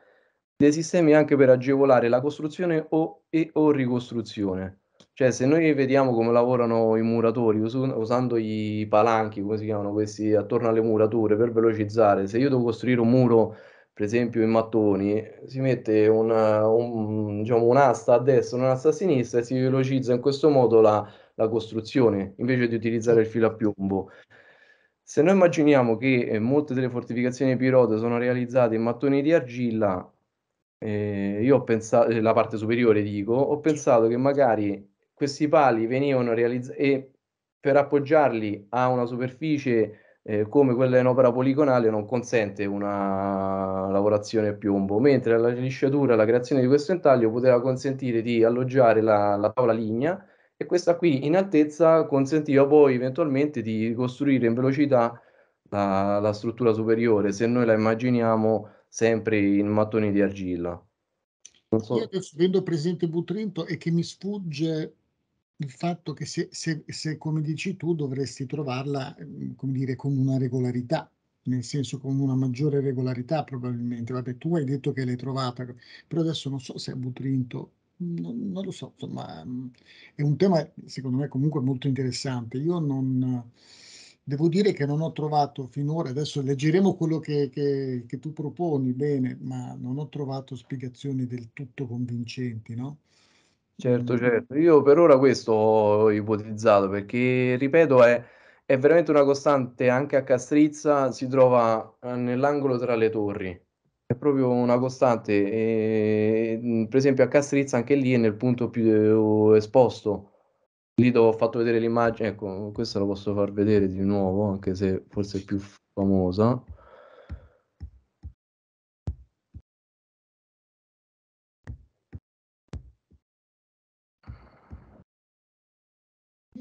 Oh, forse mi sono perso, no? Dove sta? No, queste ora un... Eccolo. Ecco, io qua a Castrizza... Sì, in corrispondenza del, proprio del... Allora, questa è una torre e questa è l'altra torre. Qua nell'angolo forse si vede pure, si intravede, c'è una, un solco qui e un solco sulla parete di, di destra. Poi l'ho trovato un altro solco qui, anzi, e poi altri due nell'angolo tra la cortina e la torre, e idem spe- speculare dall'altra parte. Questa è, cioè, questa è la costante, l'ho trovata in prossimità degli angoli e lungo la cortina che, vicina a, all'angolo, una distanza di circa 10 metri. Ma veramente c'è una costante, e anche a Chitana l'ho trovato allo stesso modo. Mm non ho potuto fotografarla, però anche, anche lì l'ho, l'ho riscontrata e l'ho riscontrata nei punti in cui si raggiungeva un elevato notevole. Cioè quando un'altezza, eh, non so, superava i 4-5 metri, allora ho trovato la, questo tipo di... Però è abbastanza strano che non arrivi a toccare a terra, perché adesso mi sembra che anche Butolinto non arrivi a toccare insomma le, ultime, le, le prime due dal basso, le prime due assise dal basso, mi sembra che non ci sia questo solco, però devo dire che non mi ricordo bene. Eh, non... Penso di no, io mi ricordo che a Butrinto le foto che avevo visto non partivano da, dal basso, da, da, quello che ho visto in, in foto. E... Eh, sicuramente si ricordano meglio di me, adesso vedo che c'è Veronica, Veronica Castignani, forse loro si ricordano meglio di me. Salve, sì, salve, eh. buonasera. Eh, ti ricordi? Sì, a Butrinto in realtà adesso ehm, effettivamente non mi sembra che le, le ritroviamo con una certa ricorrenza, però eh, quello che eh, a me lascia perplessa è che a Butrinto in realtà noi le vediamo che toccano terra, nel senso ovviamente il piano di calpestio che noi eh, ora eh, frequentiamo, però non, non si considera servano per tutta l'estensione del muro, cioè si interrompono a un certo punto. Per questo era anche strana la ricostruzione del filo a piombo e, e anche la, la, tua teoria ecco, di queste aste che mh, potrebbe funzionare, però nel caso di Butrinto, ecco, non vediamo questa scanalatura che procede per tutta l'altezza del muro, ma si interrompe a un certo punto e, e è, è, strano. Adesso... Ma si interrompe a un certo punto e poi c'è una cesura oppure la, l'opera è continua? No, allora, l'opera mura, adesso non so se hai presente il tratto di mura ellenistiche tra Porta Sce e Porta del Leone. Ok, sì. Eh, noi vediamo dei, dei, tratti delle mura eh, ellenistiche conservate, poi sono scavalcate dalle mura medievali, ma eh, nei tratti in cui noi vediamo bene il paramento ellenistico, il paramento prosegue in altezza per tot metri, ma la, sca- la scanalatura si interrompe prima, non segue tutta l'altezza. Non no. so se mai capito. Sì, sì, ho capito, ho capito. Eh, andrebbe, non lo so, andrebbe visto perché io infatti, per esempio, nei casi che ho constatato in Molossia, cioè in questi siti della Molossia, sono tutti quanti arrivano fino a dove si conserva il muro. Per quello... No, in, in realtà è simile ai casi che hai presentato tu e anche a Pirgos Ragiu, non so se l'hai visitato, perché anche lì eh, l'abbiamo trovato abbiamo trovato queste scanalature in corrispondenza dell'angolo, quindi in quel caso mh, rientra diciamo nella tua casistica perché stava in corrispondenza di, di, un angolo e si conservava per tutta l'altezza del muro a quel punto. I casi di Butrinto per adesso sono un po'... No, ma in realtà mi ricordavo infatti in una fotografia questo caso anomalo di Butrinto che era tipo a metà altezza, questo sulco sì. che però poi non andava,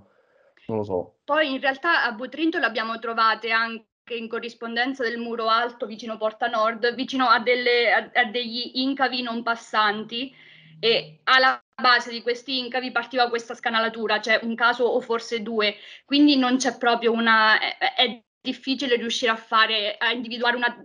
specifica tipologia per questo tipo di, di dettaglio architettonico a Butrinto effettivamente. Ok, non saprei. Eh, quindi questo è un tema su cui dovremmo ragionare ancora e raccogliere più documentazione. Poi, ecco, vedo che Vittorio vuole fare una domanda. Vittorio Mirto, a te la parola, Vittorio. Sì, buonasera a tutti. Eh, grazie Gian Michele per la presentazione, è sempre interessante, anche se conosco l'argomento, però è sempre interessante tornarci. Eh, volevo, volevo, chiederti, tra i siti appunto che hai ricognito, quindi quelli che hai studiato, ci sono degli esempi in cui eh, materialmente si verifica una rioccupazione del sito e magari la fortificazione risale a insomma, epoche più antiche, mi, mi riferisco in particolare all'età del ferro, perché è una cosa che noi stiamo trovando, ne avevamo parlato eh, nel distretto di, di Corcia, nell'altopiano di Colonia, quindi delle fortezze dell'età del ferro, però abbiamo il problema che non riusciamo a trovare delle fasi eh, diciamo più tarde, quindi eh, ellenistiche, quindi manca sostanzialmente il cosiddetto aggiornamento alla, alle tecniche poliorcetiche più tarde, quindi è come se la ceramica c'è, quindi vengono rioccupati i siti delle fortezze dell'età del ferro, ma di fatto non ci sono degli aggiornamenti dal punto di vista dell'architettura militare. Quindi se hai trovato dei siti dove materialmente c'è continuità o comunque c'è una fase più antica visibile o segnata in bibliografia. Guarda, eh, allora, per quanto riguarda le fortificazioni, eh, no, cioè né a livello bibliografico né da quello che ho potuto vedere io, per quanto sempre, eh, diciamo, per quello che è visibile, non ho potuto constatare una continuità mh, nell'uso delle fortificazioni, quindi dall'età del ferro all'età ellenistica. E in bibliografia sicuramente ci sono numerose attestazioni della frequentazione anche in età protostorica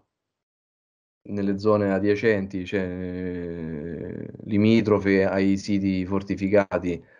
Mm. Andrebbe analizzata sicuramente meglio la, la questione, ma mh, dati così sicuri mh, non l'ho trovati, non li ho trovati.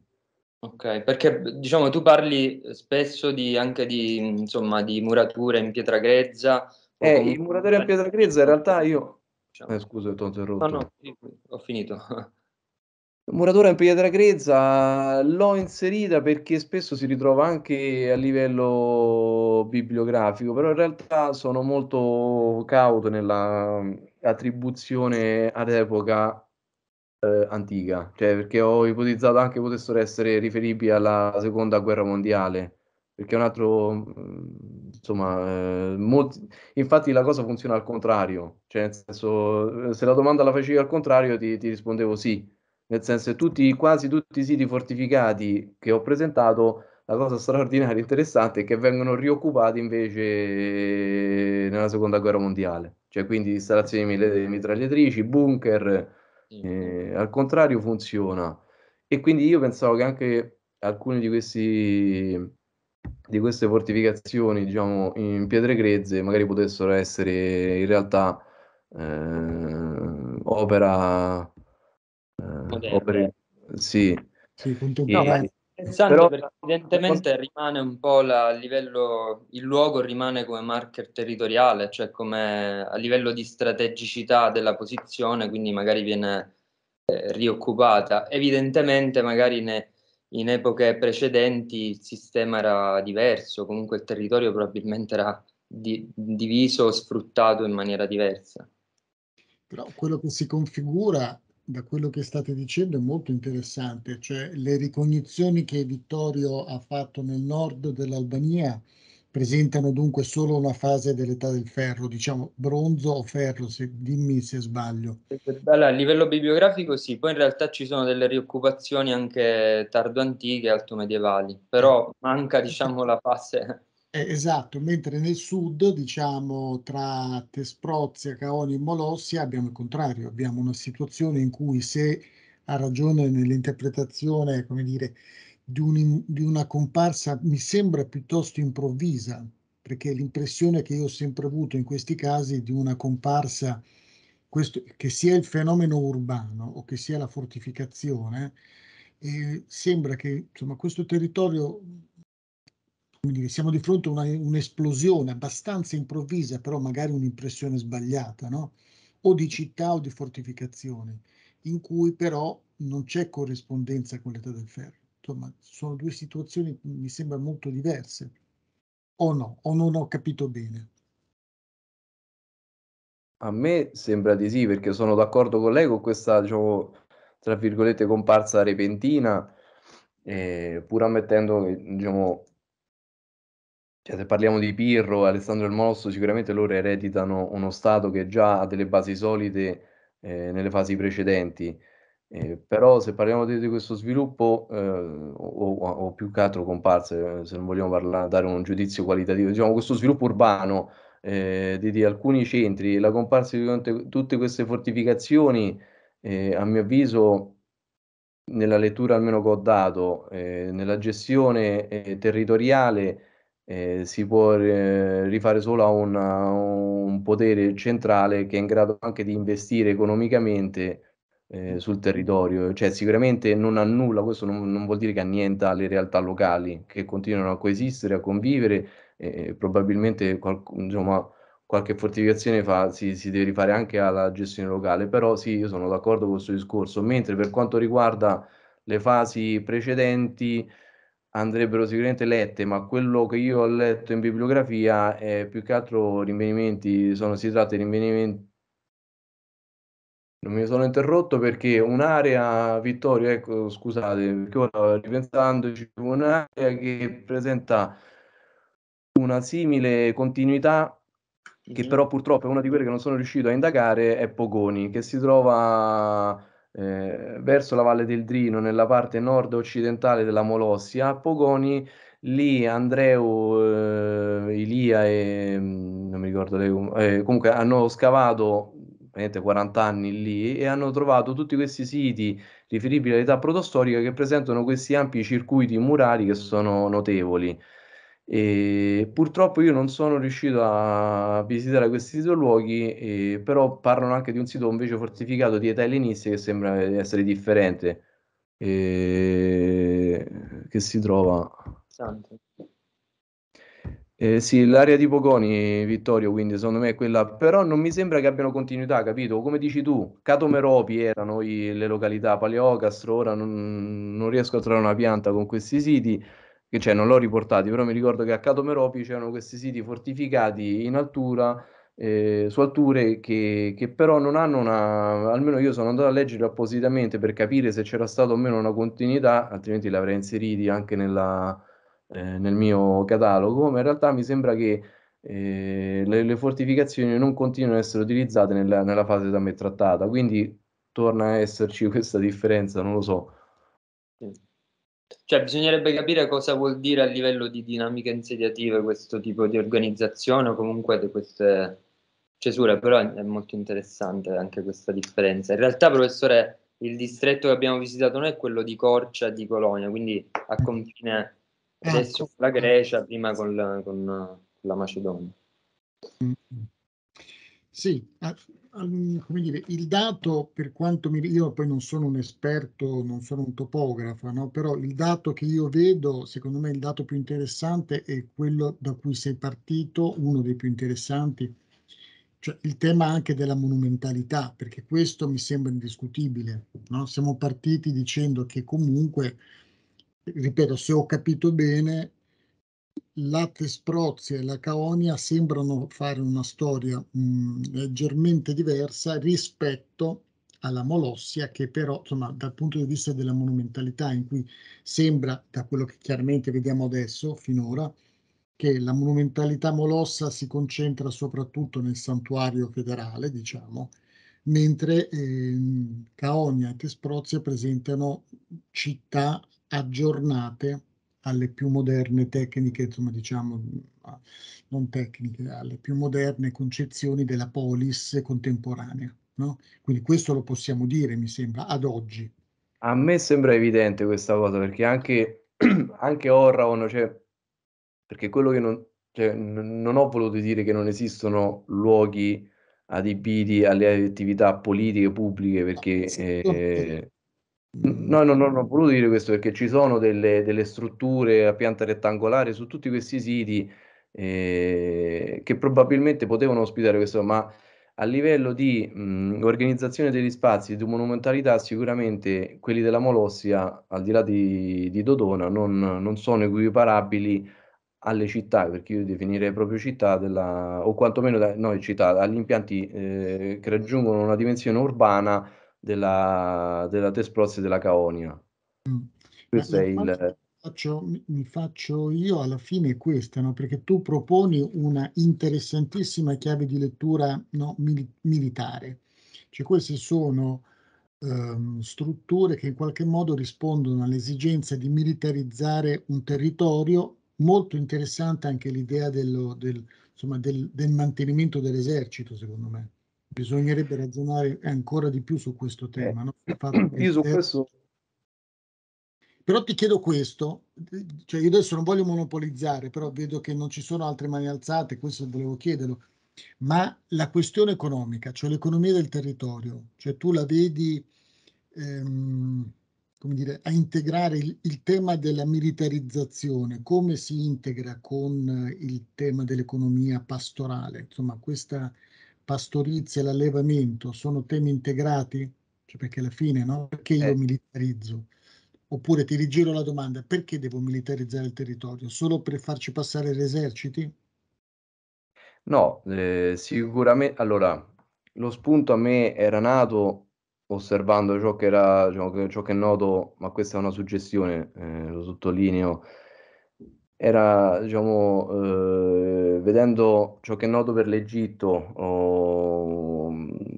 con le clerochie o se uno guarda le catechie, uno guarda queste colonie quindi militari eh, in cui ci sono proprio questi, diciamo, sorta di, di colonie eh, militari che hanno un alloggio con le loro famiglie e che gestiscono anche le, le, l'economia del territorio, anche se eh, forse più ehm, se si parla di, di agricoltura. E per suggestione, ripeto, avevo visto la, la Molossia come un possibile, una possibile attuazione simile, ricordando anche e sottolineando che Pirro ebbe modo di formarsi, cioè di passare comunque eh, due anni in, importanti presso la corte di Tolomeo. Eh, ricordiamo poi tutto il rapporto stretto, molto vicino tra l'Epiro e, e l'Egitto, che, che, segnò tutto quanto il, il suo regno e non solo nell'ottica anche di una politica mediterranea comune. E, e quindi diciamo, questa impostazione eh, io l'ho immaginata sempre per suggestione, per, in assenza di dati sicuri, anche per, per la Molossia. In questa impostazione, quindi, se uno immagina la eh, strutturazione di questi e fondazione di questi insediamenti con scopi sì prettamente militari, ma anche allo stesso tempo di creare delle, delle, delle, degli alloggi per, ehm, per, i soldati, io sinceramente in questo caso, per esempio, se immagino Castrizze e Megalocardichi, li, li, li vedo più legati a un mondo agricolo, sinceramente perché sono anche in zone più pianeggianti, cioè vicine alle pianure. Se invece poniamo eh, le, le fortificazioni su alture difficilmente raggiungibili, eccetera, mh, in quel caso allora forse li vedrei più legati a un fenomeno di transumanza, ma soprattutto se, e forse ciò è sbagliato, cioè se mi, mi faccio condizionare anche da, dalla pastorizia odierna, cioè io, nei luoghi della Zumerca, a Calarites per esempio, ancora si pratica la transumanza, ancora si eh, passa la Zumerca e si va in Tessaglia durante l'inverno. Immaginando quei luoghi, quei siti fortificati, allora immagino un tipo di, di vita, un, un, un, tipo di economia legato principalmente alla pastorizia, mentre per, il, per gli impianti, diciamo, gli insediamenti, questi pseudo-urbani che ho definito, essendo questi vicino proprio a delle valli, a dei bacini, come può essere il bacino di Ioannino, la pianura di Calpaghi verso la valle della O, eh, quelli li vedo più legati sinceramente a, una, a uno sfruttamento agricolo della regione. Sì, ma infatti Questo. mentre parlavi, ti devo dire, insomma, la domanda che mi ponevo è sì, ma perché nel senso l'economia che questi militari devono difendere, no? Tra... Perché ci sarà... Allora, pe- pensavo nella Valle dell'Uros in particolare, che è chiarissimo questo esempio, mi è piaciuto veramente molto, perché lo posso capire anch'io che non sono un topografo, allora mi chiedevo, quel percorso lì che congiunge in qualche modo a nord a Edodone e a sud a Ambracia, no? Quel percorso lì è un percorso commerciale, secondo te? Chiaro che io sto semplificando moltissimo, oppure può essere anche un percorso di transumanza, cioè quel, quella vallata lì, che, perché io la devo percorrere? Nel senso, ponendo una domanda semplice, no? È, è possibile che gli insediamenti militari, diciamo, possano mh, controllare e gestire anche una transumanza? Le due cose coincidono o possono coincidere o no? Non so se sono stato chiaro. Sì, sì, sì, no, chiarissimo. Allora, il discorso della transumanza chiaramente mi rimanda a Dodona, eh, alla Valle dei, dei Buoi e sicuramente alle, alle festività. Mm che andrebbe indagata in questo senso e sicuramente una, è molto interessante. I, la collocazione delle fortificazioni, in questo caso lungo la valle dell'Uros, ehm, non lo so, non... Quindi era nel senso che il tuo lavoro è proprio un punto di partenza appunto per poi distillare magari queste considerazioni. Oh, cioè, è chiaro che è difficilissimo, poi ovviamente la prima obiezione che insomma, faccio io stesso a me stesso è quello che c'è una stratificazione di funzioni, non è così facile, però eh, secondo sì, me... No, infatti mi ero concentrato, mi ero concentrato, cioè la chiave di lettura finale che ho estremamente riassunto poi alla fine era questa appunto una eh, non unicamente militare, ma sicuramente di, di gestione del territorio, tra l'altro anche l'economia, uno può immaginare anche il, eh, i tesori, no? Cioè, è noto che mh, nelle fortificazioni vengono costituiti anche i tesoretti, anche le, eh, per finanziare le varie campagne militari, quindi anche in questo senso, secondo me, le fortificazioni hanno senso. Dal punto di vista, diciamo, legate alla, alla transumanza, al tipo di vita, eh, ripeto, no, mh, cioè, lungo la Valle dell'Uros non ho adesso una i dati sufficienti da, da, per poter eh, avanzare delle ipotesi. Cioè, sicuramente la via dei Pellegrini che passava un po' più a ovest, allora può essere connessa forse anche in un discorso di gestione economica in questo senso, ma mh, andrebbe indagata sicuramente meglio questo, questo particolare discorso. Chiaro che a me affascina anche molto l'antropologia e l'etnografia, anche perché, voglio dire, in, in, luoghi così conservativi, ma soprattutto dove la geografia non ti permette di fare altro, nel senso che tu non è che puoi immaginare dei grandi cambiamenti dal punto di vista no, della, della strutturazione economica di questi territori. Qui la montagna è la chiave di lettura, quindi insomma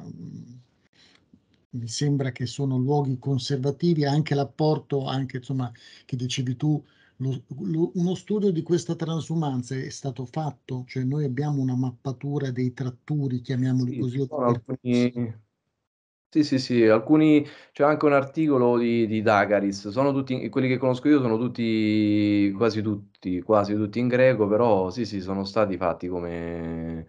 come studi, anche se negli ultimi anni si sta, so, diciamo, ehm, spostando l'attenzione più su anche un'attività agricola, cioè mentre negli anni passati ho letto che si dava una principale interpretazione, diciamo, su questo modo di vivere nomade, e negli ultimi tempi si sta invece ribaltando, non ribaltando, però si sta interpretando anche in modo che, per esempio, Vizza non è più, secondo la lettura odierna, del tutto stagionale, ma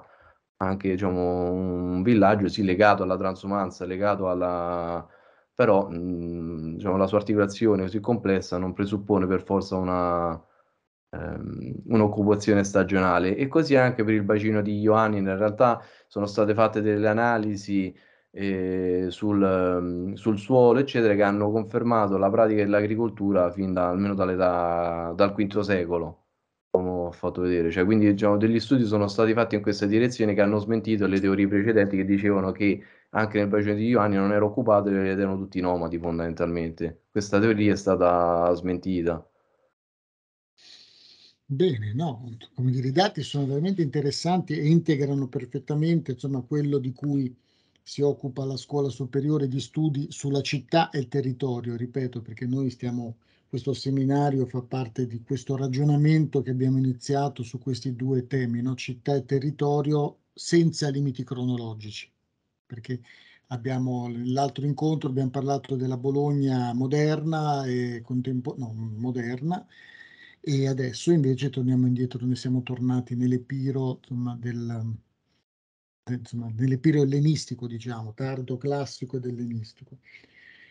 Chiaramente altro argomento poi sarebbe vedere come queste città, eh, cosa succede in età romana, perché non tutte, so, molte muoiono, non, non, sopravvivono, ci sono casi molto diversi e dopo incomincia un'altra storia che non, dire, non tratteremo questa sera, anche perché vedo che alla fine ti abbiamo, ti abbiamo dire, sequestrato per due ore, sono già le sette, quindi non so, vedo se c'è qualcun altro che vuole approfittare eh, ancora del nostro ospite. Vedo che si è collegato anche un collega Matteo Zaccarini, che saluto, ne approfitto a salutare anche insomma, chi ha partecipato e chi... Mh, mm, ecco, non, non sono riusciti a... Ecco, ciao Matteo, che è un grecista del nostro Dipartimento di Beni Culturali. Ciao. Ciao a tutti, scusate. Io purtroppo mi sono collegato proprio alla fine, quindi ho, ho solo seguito questo dibattito molto interessante, solo che ero fuori, ho fatto tardi, e non sono riuscito a seguire. Eh, infatti io sono certo che questo tema può essere di tuo interesse. Insomma, eh, assolutamente, infatti interessa parecchio, infatti guarderò la registrazione. Sì. Grazie tanto al relatore. Grazie a lei che un dibattito, cioè un, un progetto su Billis che, come dire, non posso dire che sta andando avanti in questo momento, insomma, diciamo che avanza fatica e che però insomma, indaga anche questo, questo sito straordinariamente importante. E chiaramente non, non, non, sono riusciti a collegarsi il professor Giorgi e Julian Bogdani della, della, Sapienza che hanno fatto poi le ricognizioni tutto intorno a Foiniche. Quindi ora tutti questi dati che incominciano a confluire insieme a quelli dell'Università di Macerata che ricordavi anche tu, direi che adesso il dossier comincia a essere insomma, importante, quindi si, si potrà ragionare con una bella base documentaria su tutta questa, questa quantità enorme di siti. Io non so se il mondo greco, cioè magari se c'è un sistema così complesso anche nella Grecia propria, diciamo nella Grecia mh, mm, insomma, meridionale, centrale, insomma continentale, non lo so, o se è una caratteristica tipica dell'Epiro. Quello che ho visto, che ho potuto vedere, è che appunto il, le fortificazioni, questo paesaggio militare, che a, a me piace almeno leggerlo in questo modo, anche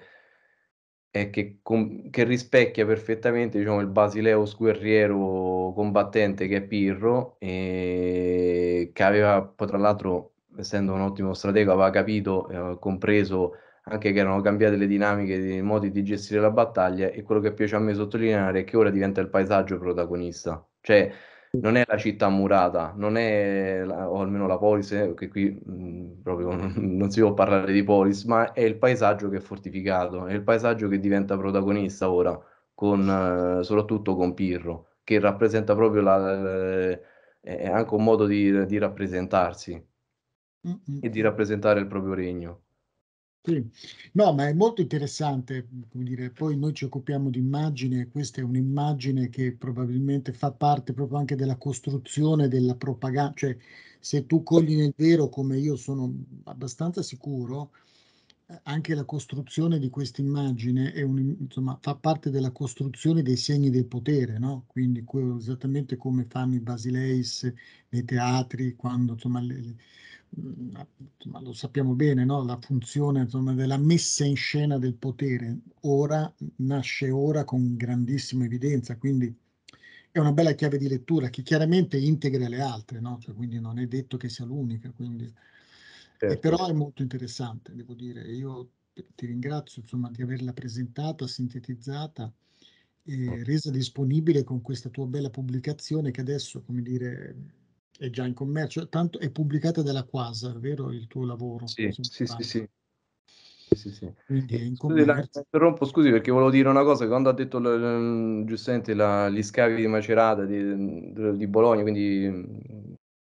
Giorgi e Bogdani, che chiaramente il, il, lavoro che ho fatto, poi io eh, ho utilizzato ampiamente i, i lavori editi dalle, dai vari gruppi di ricerca e tutti i siti fortificati che poi ho messo nelle mie carte generali delle Piro è frutto del loro lavoro, cioè, questo è importante sottolinearlo, nel senso che rendere poi fruibili, cioè pubblicare i dati consente di, di, di andare avanti. È un posto del lavoro proprio di... Un bel tema di ricerca che unisce un po' i lavori che facciamo, insomma, tutte le missioni in Albania in vario modo, insomma, anche se non io direttamente, però insomma è un tema su cui discutiamo da tanti anni, quindi insomma questo, questa chiave di lettura mi va a integrare bene, a me piace sinceramente e spiega diverse cose. Chiaramente insomma è chiaro che noi poi da archeologi abbiamo bisogno del, dello, insomma, dello scavo stratigrafico che ci dà ancora una cronologia, dopo siamo tutti felici e va bene. Però insomma stante quello che tu hai raccolto ad oggi possiamo tentare delle sintesi, quindi insomma poi cambieremo idea tra poco, non c'è nessun problema. Speriamo di andare a scavare lì.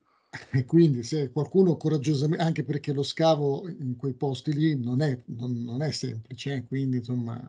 bisogna proprio volerlo fare, ma penso, penso che anche il professor Giorgi insomma, avesse in mente qualcosa di simile per la Caonia, eh, per l'area di, di, nostra competenza. Quindi.